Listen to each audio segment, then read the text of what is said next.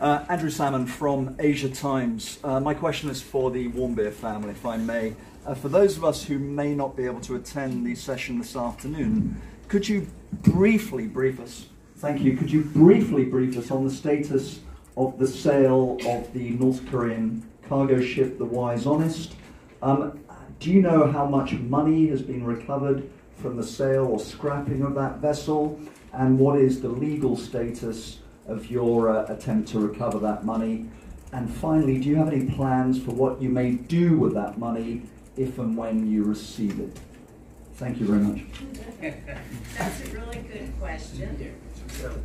I'll let Fred answer part of it and then I'll. I'll Thank you very it much. So, um, as far as the, the money, is that okay? Okay. Uh, the Wise Honest is, it's, it's, it's the North Korean ship that was seized and our family put a, um, oh, a claim on the ship and we did win in court. Uh, it's not enough money, it never is and it never will be. But the idea is, we don't do these things for money. We do them uh, out of love for our son. And we don't think North Korea's been challenged ever this way. And so, w- what we're discovering as we've gone around the world are there are a lot of assets that North Korea has. They have home, the Kim family has billions of dollars in Swiss bank accounts. They have homes in Switzerland, and they're, these are, they they are uh, nobody challenges them on this. And so our mission is to go out and find these assets and to, to challenge them and say if all these all these they, they take place in, in democracies.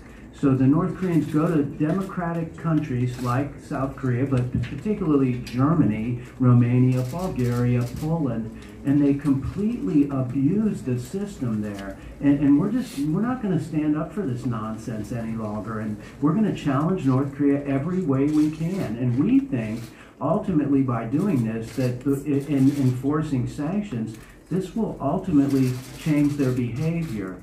Now, you had asked uh, about what we would do with the money. It's never been about money for us, but I think Cindy probably has some thoughts on that. So what, what we have come up with, um, one day we'd like to have the Otto Warmbier Foundation. And we have different thought processes of where this could go, but our initial, um, our initial shock of having Otto taken was that we really had no resource of knowing what to do. And I think all these families say, what do you do? You hear your child is basically, or parent, or in our case, son, daughter, grandfather, father, is kidnapped. What do you do? So we were told by our State Department something, and it took us six months for our State Department to say, no, Otto didn't do anything. He's being used as a political pawn. And in that time, you can't imagine how hard it was for our family. They told us not to say anything, that it would be used against Otto, and so we couldn't talk outwardly to anyone. We were scared that if we said anything negative about North Korea, they'd take it out on Otto, just like they do to their own citizens when they threaten their family members. So on top of that, we could not, you couldn't say that their, um, that their, the whole confession was a lie. Because once again, we were scared they'd take it out on Otto. So one of my big things is to help families who find themselves in this situation to know how to navigate outside of government measures, to get help, to know how to put out their message if they want their child, husband home. There is no independent organization really doing that now. And like I said, we were just beyond, we were in shock. And so I have so much guilt over not doing anything for the first year because we were told not to. And I always say, what if I'd come to South Korea and banged on their door and said, you know, do something? Uh, you know, who knows? You never know when you're dealing with an evil devil how to get through. And he didn't care about Otto. And then, you know, then you hear he asked for money for Otto. So it's it's just you can't deal with evil. But I can help other families try to get to a point where they aren't in total shock and um, just really having a hard time with functioning day to day. We have a lot of other ideas of things we can do, and this is in the future, and um, hopefully no one else, you know, if we keep after North Korea, hopefully they will eventually release people, and our, it would be our ultimate goal that they can never take anyone again. 어, 먼저 질문 하나 드리겠습니다. 지금 짧은 아시아나이스였습니다. 오후에 참가 오후에 어떤 말씀을 하실지 간략하게 말씀 부탁드리고 그리고 또 북한의 화물선 와이스 오네스트가 이제 어, 압류가 돼가지고 매각이 될 절차인데 지금 법적으로 어느 정도 진행이 된 상황인지 그리고 또 그 매각 대금을 혹시라도 받게 되시면은 그 대금을 가지고 무엇을 하실 건지 여쭤보셨습니다. 이제 답변 드리겠습니다. 와이스 오네스트라는 북한의 선박을 압류를 했습니다. 그리고 그 선박에 대해서 저희가 클레임을 신청을 해놓은 바이죠. 그렇지만 여기서 저희가 배상금을 받는다 하더라도 그 돈은 절대로 충분하지 않을 것입니다. 어떤 금액의 돈이라도 저희한테 충분한 금액이 아닙니다. 그리고 우리가 돈 이런 금전적인 배상을 받기 위해 가지고 그렇게 클레임을 건 것이 아닙니다. 우리 아들을 위해 가지고 선박 압류를 된 것에 대해서 저희가 클레임을 신청을 한 것이죠. 북한이 이런 챌린지, 이런 도전을 받는 것은 아마 제가 생각할 땐 처음일 것입니다. 북한은 해외 곳곳에 숨겨둔 자산이 있습니다. 김 일가가 수십억 달러를 스위스 은행에 가지고 있고 그리고 또 스위스의 호화 주택도 보유하고 있습니다. 그렇지만 이런 해외 자산과 관련돼서 그 누구도 김 일가를 내준 북한 정권한테 챌린지, 도전을 해본 적이 없습니다. 그렇기 때문에 나는 계속 앞으로도 해외에 숨겨진 이런 정권의, 북한 정권의 자산을 찾고 거기에 대해서 도전을 할 것입니다. 북한은 사실 민주주의 국가에 이런 자산들을 보유하고 있습니다. 독일, 아까 말씀드렸던 독일에도 있고, 루마니아, 불가리아, 폴란드에 이런 자산들을 보유하고 있다는 거죠. 지금 민주주의 국가의 시스템을 남용을 해가지고 이렇게 해외 도처에 자산을 가지고 있는 것입니다. 그렇기 때문에 나는 모든 수단을 다 동원을 해가지고 북한의 이런 해외 자산과 관련돼서 도전을 해 나갈 것입니다. 그리고 계속해서 제재를 통한 북한의 태도 변화를 원할 것입니다. 물론 돈 때문에 이런 일을 하진 않았다라고 말씀을 드렸는데요. 이제 돈이 만약 우리한테 들어오게 된다면 그걸 가지고 무슨 일을 할까 물어보셨는데 그 답변은 신디가 해주시겠습니다. 지금 신디가 말한 답변 드리겠습니다. 오토 원비어 재단을 저희가 1차적으로 생각을 하고 있습니다. 저희가 오토가 처음 북한이 억류됐다는 소식을 들었을 때 그때 엄청나게 쇼크를 먹었고 그리고 또 그 당시에는 무슨 일을 해야 될지 전혀 몰랐습니다.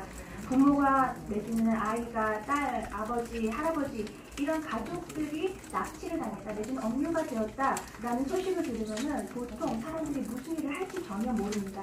그 당시 저희 국무부로부터 많은 말을 들었는데요. 오토가 처음에는 국무부가 이랬습니다. 오토 우리 아들이 북한에서 무슨 일을 저질렀기 때문에 지금 억류가 되어 있다라고 처음 입장을 발표했는데 6개월 뒤에는 그 입장이 완전 바뀌었습니다. 오토가 아무 일도 하지 않았는데 정치판의 졸로서 사용되고 있다라는 말을 들었습니다. 그리고 우리 부부가 처음에는 굉장히 힘들었죠. 첫 1년 동안은 우리가 혹시라도 북한 정권에 대해서 나쁜 말을 하게 되면은 억류되어 있는 아들한테 불이익이 갈까봐 조용히 할 수밖에 없었습니다. 북한에 대한 부정적인 어떤 말도 할 수가 없었죠. 북한은 이런 외국인뿐만이 아니라 자국민들도 자신의 정권에 불이익을 그 불이익이 될 만한 그런 말을 하게 되면 위협을 하는데 외국인은 특히나 더 그럴 것 같습니다. 감사합니다. 그래서 만약에 이번에 그 압류된 선박으로부터 돈이 들어오게 된다면 나는 그 돈을 가지고 동일한 상황에 처한 가족들을 돕고자 합니다. 그들한테 도움을 주고 그리고 또 무사 귀환을 위한 메시지를 그 가족들이 전달할 수 있게끔 도움을 드릴 것입니다. 아직까지는 이런 낙폭된 내지는 억류된 사람들을 위한 전담을 할 만한 기관이 없습니다. 그래서 그 기관을 만들고자 하는 것입니다. 우리가 처음 아들이 억류 소식을 들었을 때는 굉장히 놀랬죠. 첫 번, 첫 1년 동안은 죄책감에 시달렸습니다. 내가 혹시라도 그때 다른 행동을 취했으면 아들이 살아 돌아오지 않았을 나 혹시라도 한국에 와가지고 어, 교치를 큰 목소리로 촉구를 한다라면 혹시라도 상황이 변하지 않았을까라고 생각을 했는데요. 지금 악을 악이라고 직시를 해야 되고 그리고 또 악과는 거래가 안 된다라는 사실을 깨달았습니다. 그렇기 때문에 제가 다른 가족들 초창기에 혹시라도 이런 상황을 다 직면해가지고 쇼크를 먹고 굉장히 어려운 시기를 보내고 있고 그리고 또 일상생활이 어려운 그런 가족들한테 도움을 줄 만한 일을 하고자 합니다. Sorry, Fred, can I just ask, do we know how much money was recovered from the Wise Honest and when you may receive that money? Thank you. No. You don't know at this point. Again, again, it- it's, it's a reminder. The, the important thing was, we took an asset from North Korea that was very important to them. It's their second largest ship in their fleet that they used to illegally haul coal. So for us, it, it, doesn't- we, we want to close down the hostel in Germany. There's no money in it for our family, but it's the right thing to do. And I go back to, if we go around the world and we enforce the rule of law against North Korea, it will change their behavior. And um, that, it's, it's that simple. 네, 질문 다시 드리겠습니다. 그, 그, 그, 와이드 어네스트 돈 얼마 정도 회수될 것인지, 그리고 언제 들어올지 아시는지 물어보셨는데요. 답은 모른다였습니다. 그리고 또 이 선박을 제가 안보를 했다는 사실이 중요한 이유가 이게 북한이 불법적인 행위에 사용하던 선박, 선단의 두 번째로 가장 큰 선박이었습니다. 북한 쪽에 있어서 중요한 자산이라고 했죠. 그걸 압류할 수 있다는 게 굉장히 큰 의미였습니다. 그리고 또 독일 호스텔도 마찬가지로 저희가 일을 하고 있습니다. 근데 이런 일을 하는 이유가 우리 가족한테 돈이 들어오기 위해서 하는 일이 아니라 옳은 일이기 때문에 하는 것이죠. 북한이 계속해서 법치주의를 따르도록 촉구를 하는 것입니다. Can I add one thing? Uh, It was a journalist that wrote in 2016 about this German hostel. So really, as a journalist, if you all can uncover assets, uncover criminal enterprises, you all have so much more power because you have the ability to find these assets.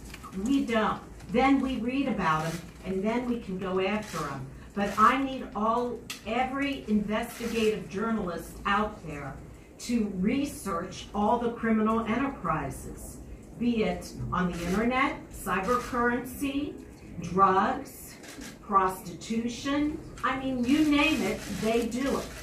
And everything's illegal. 예, 그 독일 호스텔과 관련돼서 어, 말씀드리겠습니다. 저희가 이 독일 불법적인 호스텔이 있다라고 안 게 언론 보도를 통해서였습니다. 2016년에 어떤 언론인이 보도를 해줬기 때문에 저희가 알 수 있었죠. 따라서 여기 계신 언론인 여러분들한테 부탁을 드리는 바입니다. 이런 자산들, 음, 불법적인 법인, 북한이 운영하는 게 있으면 여러분들이 그것을 밝혀내 주실 수 있습니다. 여러분들한테 그런 파워가 있다는 거죠.